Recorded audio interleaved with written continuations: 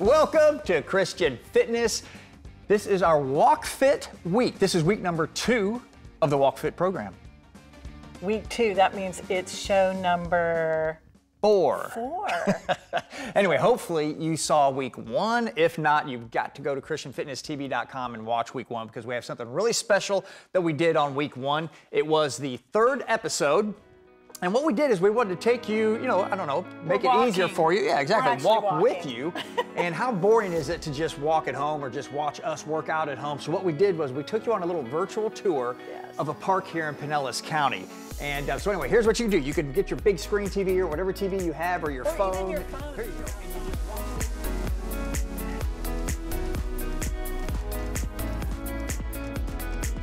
So this is what we did in week one. We did this little virtual tour for you. But isn't that amazing? Look at the mangroves, this cool little boardwalk. They had so a welcome watchtower. to Florida. Yeah. You're literally welcome So to Florida. not only is it a walking show, it's also a travelogue because we're taking you on a tour of some Florida sites. But uh, so anyway, we thought this would be fun for you. So go back and watch episode three of week one of the Walk Fit Challenge, and you can actually walk with us. So it's a lot less boring than uh, just You're staring not at a just wall. seeing us, you're seeing us walking, but you can't see us. You can just see the walk Yeah, a lot, a lot of fun. So go back and watch that episode, and we'll be doing some more of those in the future. And you know, take you to some parks around uh, Florida. I don't know how much traveling we'll do, but we'll start in Florida since that's where we live. We're going to try to find as many parks as we can. Sorry, honey. All right, it's our encouragement for you. You've got to sign up for the Walk Fit Challenge. I mean, you don't have to, but it's helpful if you do. It helps us. That way we can encourage you. And um, you do that. It's really simple. First of all, you need some kind of a counter, Something. step counter. Oh, I'm going to I wear a Fitbit. Lori's got a little Apple Watch, but there are a million, million of them out There's there. so many of them out there, and they're all really good. So find one that works. And by the way, little tip. Um, check your insurance company. Sometimes you can get credits, and like that Fitbit was free. So you can get credits by doing certain things, and they'll actually give you one for free. So check out your insurance company. You might be able to find out. And not only that, ours we're with, I mean, I'll just say we're with United Healthcare, and they'll actually pay you money toward products. I mean, they don't just give you cash, but if you reach certain health goals, Right. they'll actually give you money. So I'm saving up now to get an Apple Watch. So I'm gonna upgrade from my Fitbit to an Apple Watch when I get enough credits. So anyway, check with your insurance company. But if you have an Android phone, you can download Google Fit. If you have an Apple, Apple has its own health program. Right. Of course, any kind of Fitbit or tracker, there's little belt trackers you can wear, all kinds of Oh, I actually just ordered through your insurance um, a little Fitbit clip. So I'm actually going to wear a Fitbit clip and use my Apple, and we'll see which one we like easier. And by the way, if you're not real tech savvy, Fit- Fitbits are really easy to use. And they're great motivators. They all are, but that one will literally, it'll vibrate and tell you to get up and walk. It So, reminds I you every that. hour. It oh, does. you've only taken 20 steps this or, hour. Or you need to stand up. yeah, yeah. So or anyway, do something. they're really, really good. Step number two. So step number one is get your, your step counter of some kind.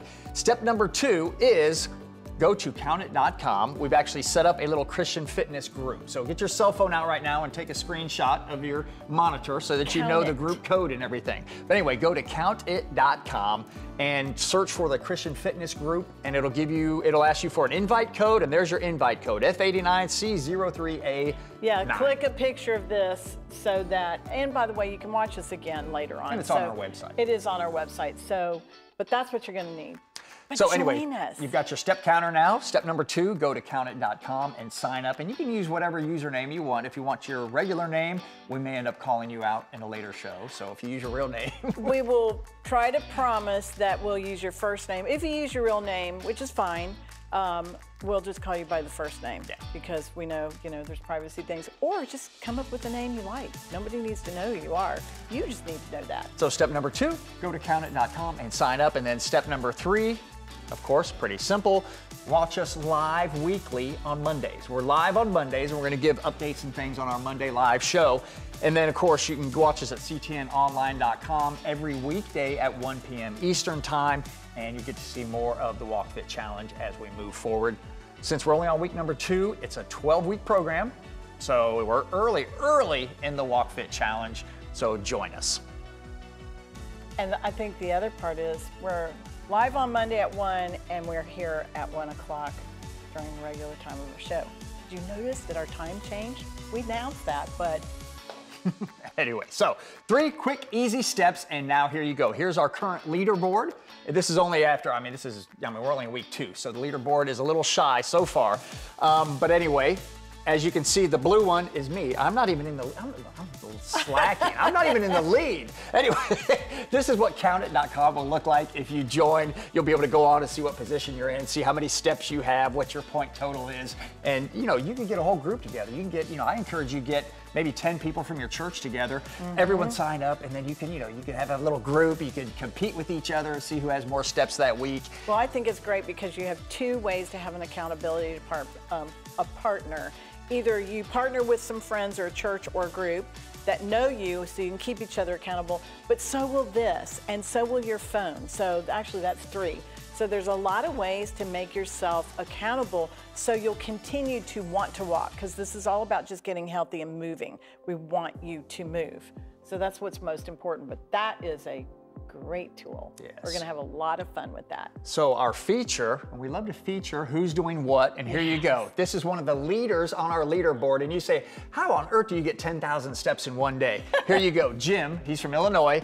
7,000 steps just walking his dog one time. Wait, so, did you say he's from Illinois? He is. Isn't it snowing there and he's still walking? I wonder what the weather's like there. Let us know when you do this.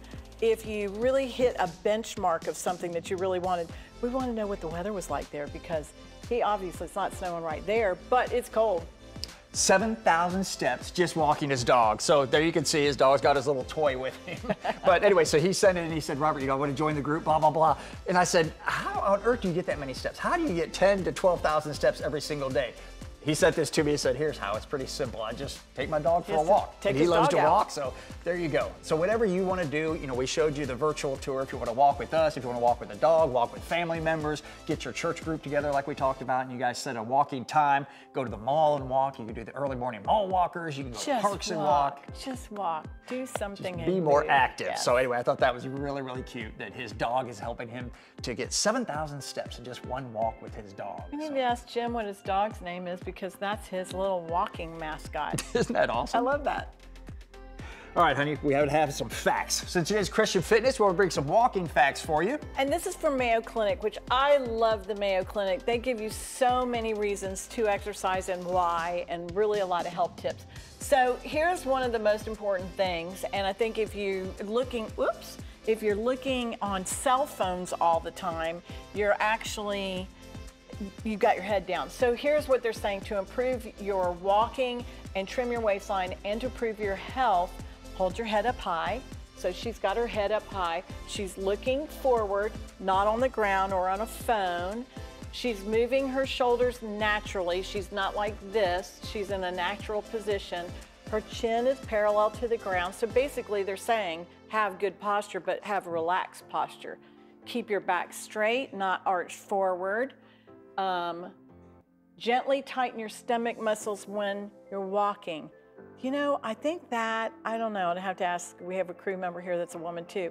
I think that might be a woman thing. I'm not sure if men have been taught when they're young, hold your stomach in when you walk and stand up straight, like put the book on your head. But anyway, tighten your stomach muscles, swing your arms freely, which is natural. So that way too, and by the way, if you're wearing something like this, as you swing your arms, you're even gonna get more movement from that.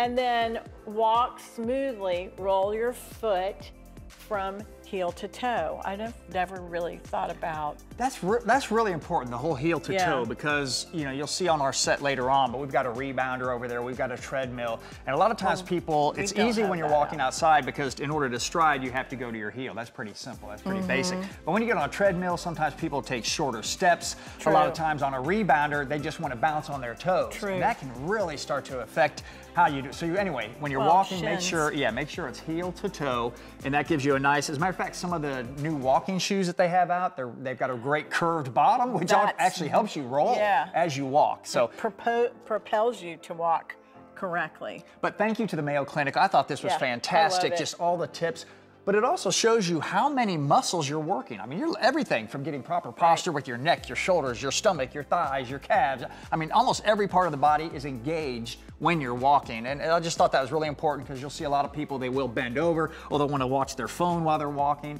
You want to actually get really nice posture because you'll feel it. If you start walking, you know, five, six, 10,000 steps, you'll start to feel it in your shoulders if you're arched over. You can feel it in your neck if you've got your neck pronated. Well, that's a so- good key. If you start feeling that way, that's time to correct. Yes. Start making an adjustment. You know, if you're if you feel tense in your shoulders, make the adjustment of relaxing and relaxing your arms.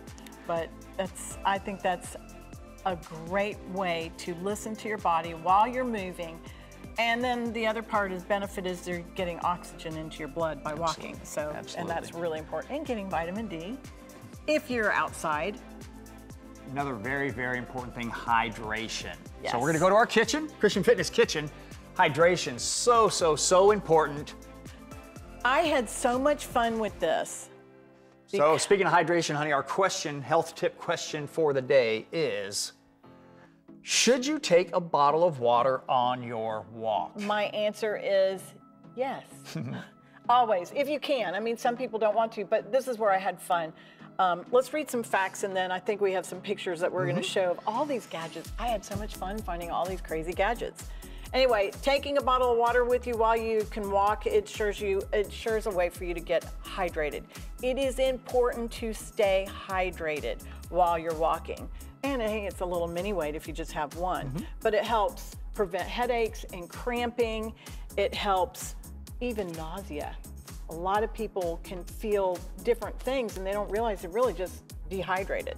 So try different products and things like that. And we have some pictures. Yeah, of so we picked a few products. products that uh, you might not be familiar with. Fun. I mean, this is just the norm. You know, these are our old logo, Christian Fitness, but those are fun. But these are more fun. Look So you, this. you got on the left, it's collapsible. The one in the center is actually shaped like a dumbbell. So you can fill it with more water to get a heavier well, maybe workout. you'd have to carry two then, so Yeah, you're you- balanced out, and then you'd have plenty of I thought that was pretty clever. Though. I shaped like a dumbbell, so you just work out so with cool. it. And then the third one is collapsible, crushable. I mean, really easy to walk with. Um, I like the first one though. it Just collapses down when you're not using it. You expand it to get your water. And Yep. then we have some more creative, unique ones if you want to really have fun with it. I saw one of these I've never seen before, and I thought that was really neat. It is an armband, kind of like what we do when we keep our um, Bible, we keep our phone in the armband. Well, guess what? You can have one on the other side as an armband. That's a water bag. And they're wearing that on their arm, which I think is crazy. Then, of course, a backpack, and then what I guess at one point they call it, called it a fanny pack, or it's a waist pack now, which personally, try them if you want. If you want to just go buy lots of gadgets and try them, just gadgets. do it and let us know. Um, They work. but I kind of like the waist one because if you think about walking, it distributes weight in your core area. So you're not getting thrown off by having lots of things on your arms. Although the weight one, I kind of like if you're going to use two weights. Although if you drink one and one weighs less than the other, so you know. But I like the middle one. That's my personal Yeah, it preference. depends on your preference. So Or we just get a encourage you. fanny pack and put this in the middle of it. Uh, you can do that. You can just hold this bottle. You can Yes. hold, you know, these. You can hook it on your belt. You can tie it. You can just hold it with your Wait, finger. did you People say do all kinds. belt? Do we really have a belt? Well, drawstrings. Uh, most most yeah, pants true. have drawstrings and things. You can tie it on your drawstring. You can just you know hook your finger. Whatever you want to do, we just encourage you to take water with you. Get hydrated. Stay hydrated. That's all. And it depends. I mean, if you're hiking, the backpack can be a great one. If you're actually running, the backpack's a really good one. Then because the belt pack, you know, can jostle around if you're jogging. So if you're jogging, you may want the backpack or the arm. So anyway, It's a try preference. it. Try your it. Let us know what you think. preference. I just like. I mean, honestly, we just take regular bottled water. Yeah, water. we do. I'll just stick it in my pocket. I'm gonna. We have not done the fanny pack thing, so I will make a promise. We will put one in a fanny pack, and I'll wear it and see how it feels. So try it. Yeah, but personally, because we've worn them doing other things, walking, I think for me, I just like the weight distributed properly on my core, in my core area. And this is your core, by the way. Your core is like from here to here. So there's plenty of tips for you for today. Yes. How to walk properly, Yes. stay with proper posture, get good stride length, and then of course stay hydrated. And as you saw, there And is get the no shortage, no shortage of ways to stay hydrated. Yeah, I think it's. I think that's a lot of fun. Just stay hydrated, however you stay. I wonder what Jim takes for his dog. how he keeps his dog hydrated for 7,000 Oh, steps. And what I he got don't extra know. water for his dog. Well, Jim, uh, email to let me. us let us know. know what you, what you do with your dog. Where are we? we are encouraging them to walk through the Bible with us. This isn't just a 12 week walking challenge. We actually have a purpose for it. Of course, the number one purpose is to get you healthier. The number two purpose is let's get into the Word. Well, I mean, get you closer to the Lord. I mean, if you're going to walk outside and spend time, you know, with the Lord, then get in the Word and then exercise that time. No pun intended. Exercise that time in um, just what the Word says, and let the Lord minister to you. Yeah, so you can see our little guy here has got his armband. That's what I usually use. I'll wear my phone on our arm, and that way both of us can hear it. Otherwise, you can just use an earpad, earpod, or whatever you want. Uh, but we encourage you. In 12 weeks, you can easily go through the Bible with us. And here is our little format. And we will have this online as well, but you can get your camera out and take a picture of this. But if you do our 12 week program, try to go through last week, which was our first week. You should have made it through Matthew 20. This week, we encourage you to start at Matthew 21 and get through Mark 10. But anyway, you can go through the whole New Testament if you follow this formula. Pretty simple. And it's only, a, you know, gosh, I don't even know how much, it's, it's, it's not that much. It's maybe. I think you'll be surprised if you're listening to the Bible.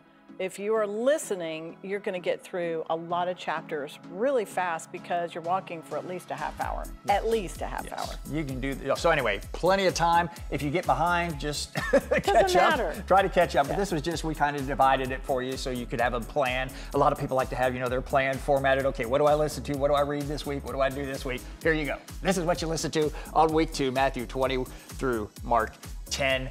And we, what we love to do is we'll just listen to it. And if you watched last week, we did a couple out in the park where we paused and, and had a little Bible study. And that's what we love to do. We'll listen to it and something will jump out at one of us. We'll go, oh my gosh, I heard that scripture in a new way. Or, oh, let's talk about that scripture. And then we'll keep walking. 10 minutes later, we're still just talking about that one scripture. So recently, fed. yes, recently, Let's this is one that was really powerful. See if I can get it loud enough to pick up on my microphone.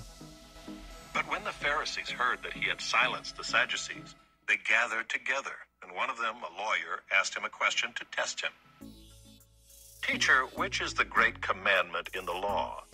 And he said to him, You shall love the Lord your God with all your heart, and with all your soul, and with all your mind. This is the great and first commandment. And a second is like it You shall love your neighbor as yourself. On these two commandments depend all the law and the prophets. So that is Matthew 22. And so we were walking, listening to that, and I thought, man, just amazing. First of all, the Pharisees are trying to trip Jesus up. They're like, oh, well, which is the greatest of the commandments? So they wanted to try to trap him. Um, anyway, go back and listen to all of Matthew, and it'll make more sense. But Jesus is going to have no part in that because there's really, he's saying, look, there's only really two laws, and they're actually one law. They tie It's all into the same. You receive Christ and you receive the love of God, and then that's what you focus on is the love of God. I mean, you let the love of God dwell in you richly and then pour out the love of God on others. I mean, really, it came down to that. He's telling them laws and rules because that's what they're accustomed to. But I mean, really, it's just love people.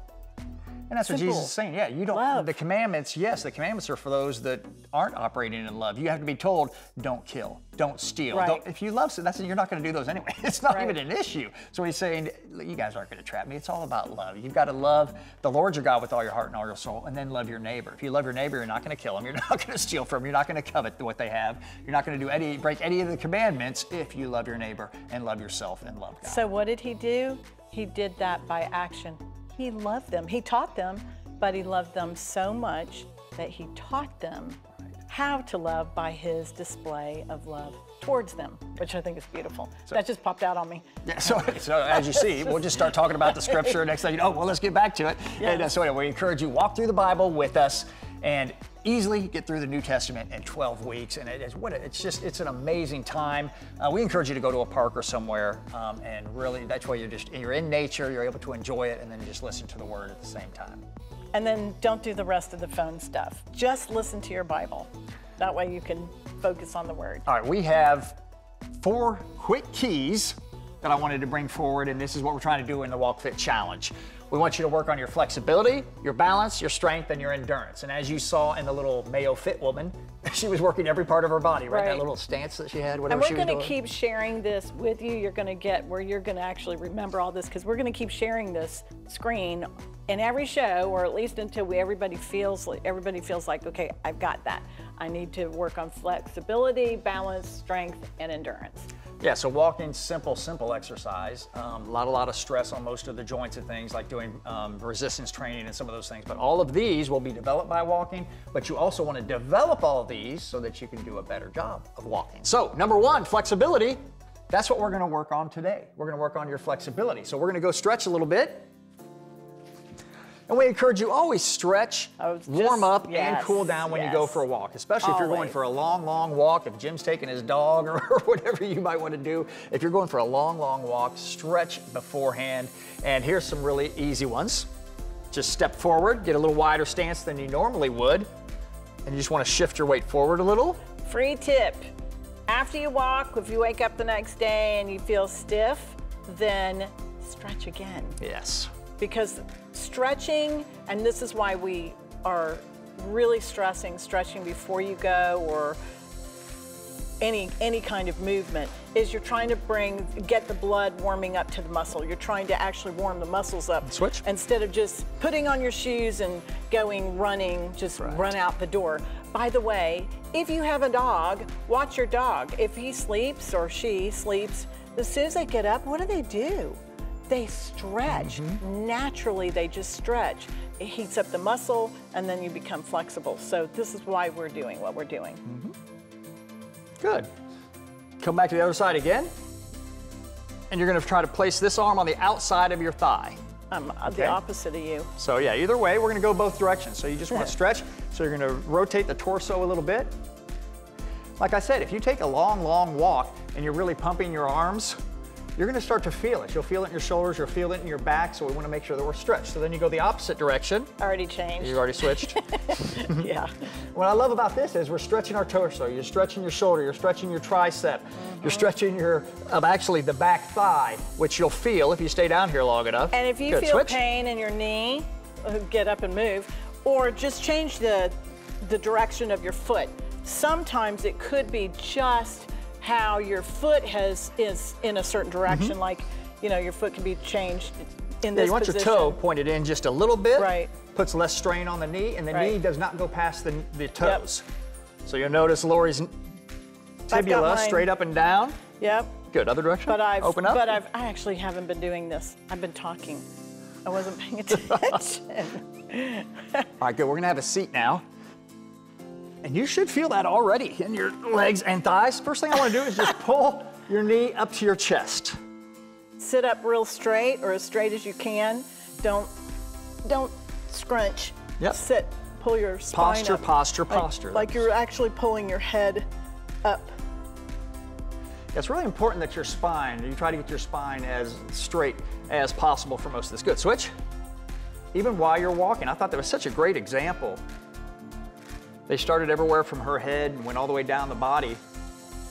Well, you think about if you're walking and you tilt your head down, you're actually putting force on your neck because there's weight. So you're walking and you tilt your head, you want to walk and keep your head upright. It actually Good. feels better Extend that it. way anyway. Now, a little more difficult, you're gonna take your right leg and cross it over the knee. And just like we did when we were standing and doing kind of the lunge, you're gonna do the same thing here. Try to put an elbow on the outside of the knee. And again, stay upright and just try to open up. Hi, Hey, oh, you're going that way. I'm going this way. Then we're gonna face away from each other in a second. Oh, well, I was trying to avoid that because I wanted to face you. And it's but- good to get each stretch for about 20 seconds. And then you can rest and do another 20 and rest, do another 20. So it's fine to stretch just this one position for one full minute. You can either do it for a minute straight or you can do, like I said, 20 second, three different intervals. Good, let's switch. Oh, yeah. And again, elbow either Yeah. way. You're gonna Okay, do both gonna directions, so it really doesn't I matter which way you go. with you. And take And nice deep breathe. breaths. Yeah, breathe, inhale through your nose, exhale through your mouth. Just nice and relaxed. And then the other direction. There, now I get to say hello to you. Oh, hi. This actually feels really, really good. Okay, good. Both legs down. I want you to reach out to your toes and pull your toes back. Now on this one, you do want to round your back. You want to round the back a little bit. So we're going to actually stretch all the way from the lower back up through the shoulders. And depending on how flexible you are, you can start to push your, straighten your knees, push your feet out a little further. This feels so good. Good. Point your toes away.